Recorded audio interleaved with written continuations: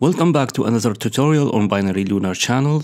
In today's video, we'll show you how to create integrated circuit glow effect on your maybe NFT card or any other surfaces or maybe for 2D games. So this applies to any kind of video games. Uh, so without any delays, let's get started.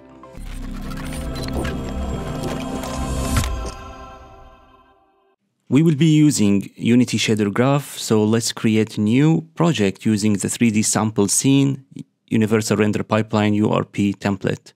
I'm using currently Unity 2020.3.29. Feel free to use any other versions. I started by downloading the circuit texture. I provided the link down in the description. Feel free to download that or any other texture.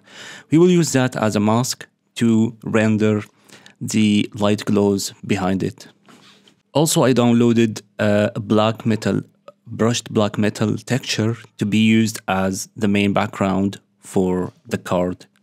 Also, I used the card model which I created in the previous tutorial for the holographic NFT card. So if you didn't watch that tutorial, it's a great chance to watch it now. So let's create a new lit shader graph and let's name it circuit shader. Open that shader graph and let's start by creating sample texture 2D node and add property uh, texture 2D and name it the main texture. We will use the black brushed metal texture there and we need also to control the tiling and offset of this texture to cover the surface or of our card. So create tiling and offset node connected to the UV and we need two new properties to control the tiling and offset. Both of them are vector 2. The first one is for the tiling and the second one is for, for the offset. For tiling, we can set as default for 1 by 1. For the offset, the default is 0 by 0. Let's connect everything to the albedo or the color in the master node and select the black brushed metal texture to the base color save and let's see if we got that texture on our card. And of course as usual we need to create a material to hold this shader so let's create new material circuit and apply the shader to it by dragging the shader on the material. Then we drag the material to the back face of our card then here comes the role of the tiling and offset nodes, where we can stretch the texture to cover the whole back face of the card nicely. So keep adjusting the tiling and offset till you get uh, satisfying results. The next step is to add the circuit texture. So let's create new sample texture 2D and add new property texture 2D and let's name it circuit texture. Also, we repeat what we did for the main texture by adding tiling and offset node and adding controls for the tiling and offset by creating two new vector 2s, one for the tiling and another for the offset.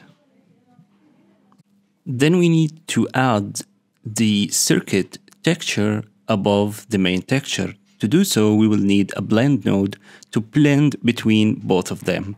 And we will use the difference blend mode with uh, an opacity 0.5 to show that clearly. Then connect the final result to the base color again. Let's save and see what we got in the scene. As you can see, we can now see the circuit texture above the main texture. We only need to adjust a bit the tiling and offset to get a nice texture of the circuit that covers the card. So keep playing with those values till the texture cover the card without having any cuts on the texture. The final step is to create glowy light that only renders inside the circuit texture. And I found that the best way is to create a Voronoi node because it creates random circles that we will move a long time. So let's start by creating a Voronoi node, then we create tiling and offset node. So we need to move those on the y-axis over time. So we create a multiply node. We multiply the time with a vector 2. The vector 2 will control the direction and the speed of the Voronoi node.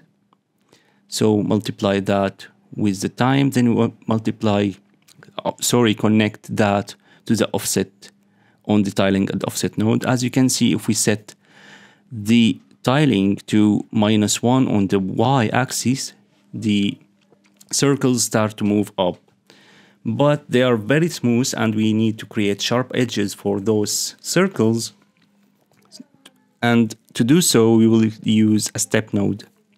Voronoi to the edge and set the int value to around 0.25. After that, to make the moving circles rendering only inside the circuit texture, we will use a lerp node to lerp between the zero value, which means nothing, to the Voronoi results using the circuit texture as a mask. As you can see in the lerp, we started seeing the circles moving only inside the circuit texture, which visually appears as a glowy lights or information moving inside the circuit. We need to add that glowy light above everything, so we simply use an add node to add this glow above the final results we got previously. Then we connect that again to the base color node on the master node. If we save and go back to the scene, now we can see the glowy lights rendering inside our scene on the card. There is one final thing left is to control the color of those glowy lights. So we go back to our shader graph and create new property. Maybe we name it glow color over the color. Then we multiply it with the Voronoi results before lerping them with the circuit texture. So create a multiply node, then create uh, a color property and connect both of those using the multiply node. Then replace the colored Voronoi with the non-colored one by connecting that to the B on the lerp node. Save and go back to the scene. Now you can control the color of those glowy lights inside the integrated circuit. If you found this video useful, don't forget to hit like, subscribe and the notification bell so you keep updated with our quality tutorials. We really appreciate the generous support on Patreon website and thanks to all patrons who keep donating and encouraging us to publish uh, quality tutorials. And remember, by becoming a patron, you can download all our project files that we published on our channel. The next video, see you soon.